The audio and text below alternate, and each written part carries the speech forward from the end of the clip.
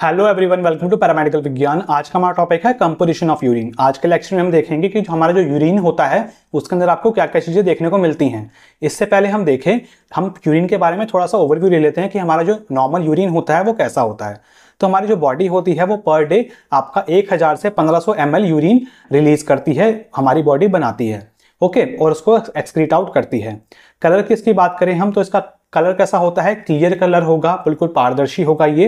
Amber colour होता है, ये या फिर इसको बोल सकते हैं हम कि आपका स्ट्रॉ कलर होगा ये, जैसे आपकी स्ट्रॉ होती है, ठीक है, पाइप जो नहीं होती जिससे जूस पीते हैं, उस कलर का आपका होगा थोड़ा सा ये। Due to the presence of urobilin तो आपका जो कलर है, एम्बर कलर है, किसकी वजह से है वो आपका? यूरोबिलिन की वजह से। यूरोबिलिन क्या है? एक एक आपकी पिगमेंट है, जिसकी वजह से आपका ये यूरिन का कलर आपका पेल या फिर एम्बर आपको दिख रहा है। ठीक है, यूरोबिलिन आपका कैसे बनता है? आपका जब हीमोग्लोबिन टूटता है, जब पुराने आरबीसी टूटते हैं, हीमोग्लोबिन भी टूटेगा। तो जब हीमोग्लोबिन टूटता है, तब आपका यूरोबिलिन भी बनता है। ओके? फिर आपका जो ऑडोर की हम बात करें तो या फिर ऑडोर को हम स्मेल बोलते हैं तो इसकी स्मेल कैसी होती है? एरोमेटिक होती है। हल्की सी एरोमेटिक इसकी स्मेल होती है। पीएच की हम बात करें तो एक फ्रेशली वॉइडेड यूरिन में आपका जो यूरिन होगा, वो कैसा होगा? स्लाइटली एसिडिक होगा। ओके? और इसका जो पीएच होगा, वो कितना होता है? 4.6 से 7.0 इसका पीएच होता है। स्पेसिफिक ग्रेविटी इसकी कितनी होती है? 1020 से 1030 इसकी स्पेसिफिक ग्रेविटी होती है।